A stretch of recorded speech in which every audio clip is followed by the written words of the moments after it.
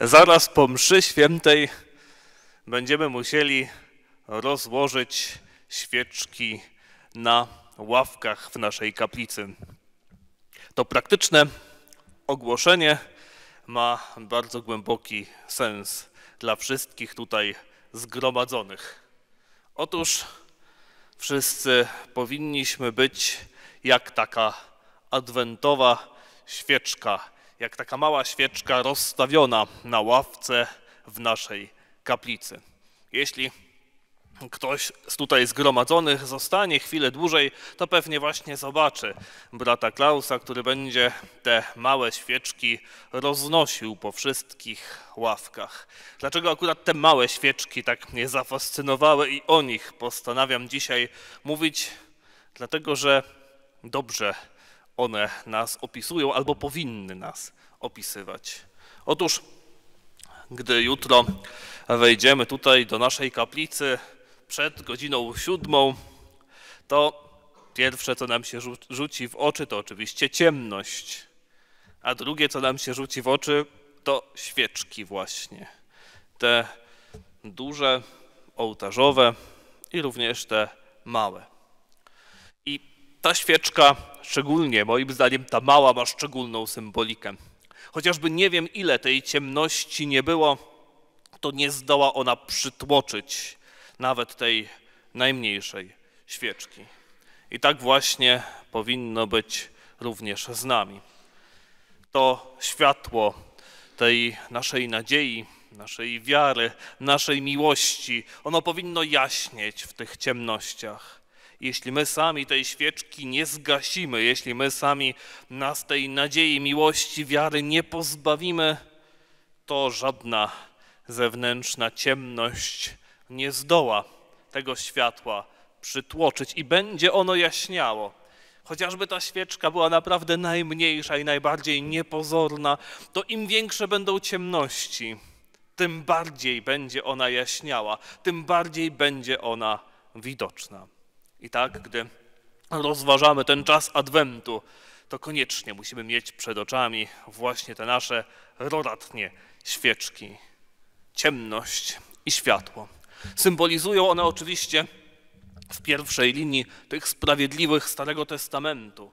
To jest to odniesienie do tego czasu historycznego oczekiwania na przyjście Mesjasza.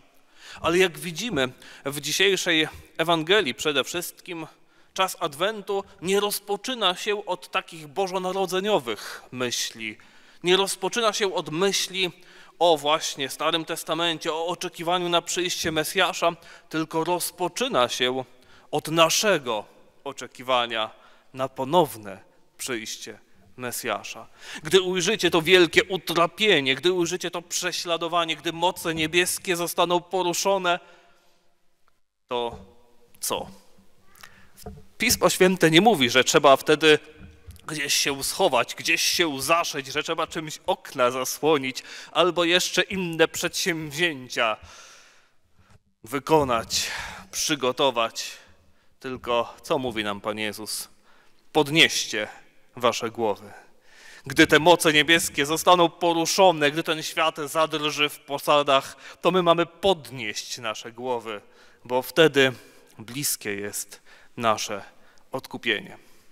Właśnie jak ta świeczka, jak ta mała świeczka, która świeci w ciemnościach. Gdy wschodzi słońce, to wtedy następuje ten triumf tego światła. I ona nie gaśnie, ale oczywiście jej blask, blask staje się mniej widoczny. Można powiedzieć, że jej blask, pomimo tego, że przecież ona nie ginie i wciąż, wciąż świeci, to jej blask zlewa się z tym blaskiem słońca. I to wielkie, wschodzące światło sprawia, że to światło świeczki znika, ale nie przestaje istnieć, tylko już świeci w jasności. I tak właśnie powinno być z nami i ponownym przyjściem Pana Jezusa na sąd.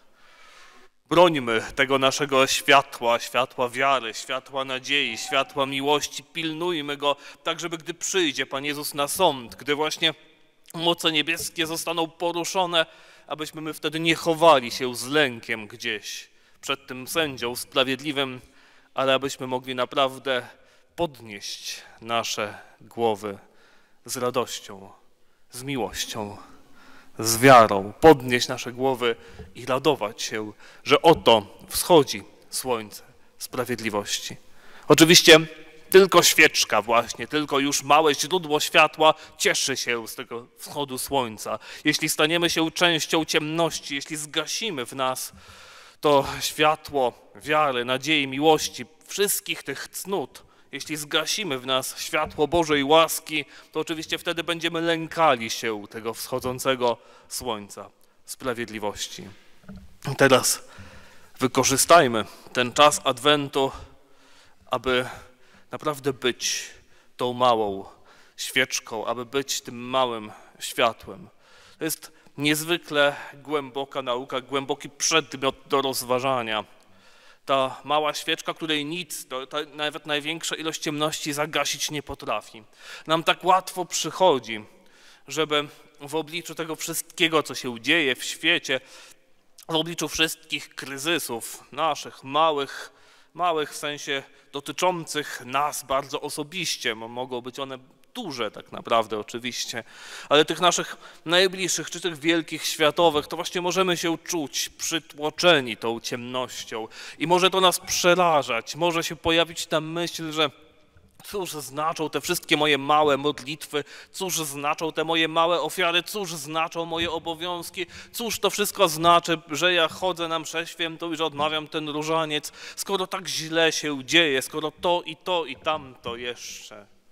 Ale właśnie ta ciemność na zewnątrz nie może nas przerażać. To znaczy, jeśli nas przerazi, to być może faktycznie nas wtedy stłamsi, to być może faktycznie zdoła zgasić w nas to światło, ale jeśli nas nie przerazi, jeśli ona nie powali nas na kolana, jeśli my nie zaniedbamy tych obowiązków, to nic nie jest w stanie nam ta zewnętrzna ciemność zrobić. Pamiętając o tym, zwróćmy się właśnie do nas samych, do naszej duszy i nią się zajmijmy przede wszystkim. Zadbajmy o to, aby ona jaśniała. Zadbajmy o to, aby ona jaśniała poprzez zjednoczenie z Panem naszym Jezusem Chrystusem. I pamiętajmy, że właśnie te rzeczy, które może byśmy byli skłonni nazwać małymi rzeczami, drobnymi rzeczami, nasze codzienne obowiązki, codzienne praktykowanie cnót, że właśnie to są te wielkie rzeczy, to są te rzeczy, które utrzymują ten płomień, które utrzymują to światło. I dbajmy o nie, pilnujmy, aby przez ten czas Adwentu, czas oczekiwania na przyjście Pana Jezusa, być może przez całe nasze życie, bo najpóźniej wtedy, gdy staniemy przed Nim po naszej śmierci na sąd szczegółowy, to wtedy okaże się, czy donieśliśmy przez ten, na, przez ten nasz czas Adwentu, Adwentu naszego życia, czy donieśliśmy to światło, czy nie. Wykorzystajmy ten czas Adwentu do rozważania tego, do pilnowania, aby to nasze światło nie zgasło to światło, które jest tym odpryskiem oczywiście tego, tego wielkiego światła, o którym mówi święty Jan Ewangelista w prologu swojej Ewangelii. To wielkie światło, które przyszło na ten świat. My jaśniejmy tym światłem, napełniajmy się Bożą łaską, korzystajmy z tych wszystkich, wydawałoby się małych, drobnych rzeczy. Przyjdźmy tutaj do Pana Jezusa, do ukrytego w Najświętszym sakramencie i korzystajmy z tego światła, napełniajmy się Bożą łaską i pamiętajmy, że wtedy żadna ciemność, nawet największa, nie zdoła nas tej łaski pozbawić i wręcz przeciwnie, im większa będzie ciemność, tym bardziej będzie nawet najdrobniejsze światło jaśniało. Amen. W imię Ojca i Syna i Ducha Świętego. Amen. Niech będzie pochwalony Jezus Chrystus.